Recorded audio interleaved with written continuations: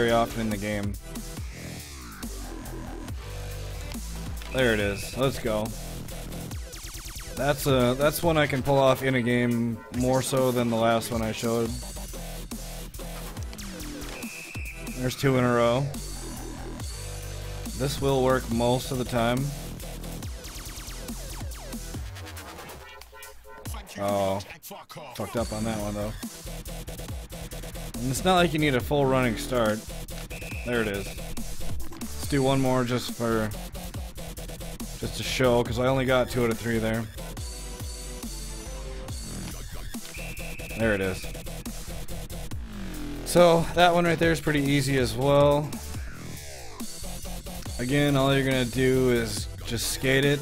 Once you get, anytime when you're past the red line, hold that A button down so he does the protect puck. Okay, he's gonna come around, gonna come around the net in this type of form here. And basically the goalie is just gonna not follow hard enough. Um, so you're just gonna hold down that A button. Once again, you can see I'm not doing anything with my right stick. Down in the bottom right, it's all just skating with my left stick. Right stick totally neutral until it's time to shoot. So both of these goals that I'm showing you, you don't have to have any left, right, left timing whatsoever. It's not one of those goals. Okay, so just keep holding that A button down until you get far enough around the goalie. You can kind of see where it is, right there. That's easy shit right there.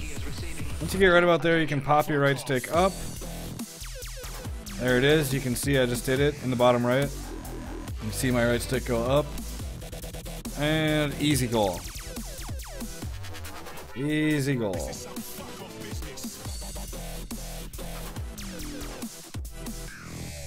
I'm a turtle.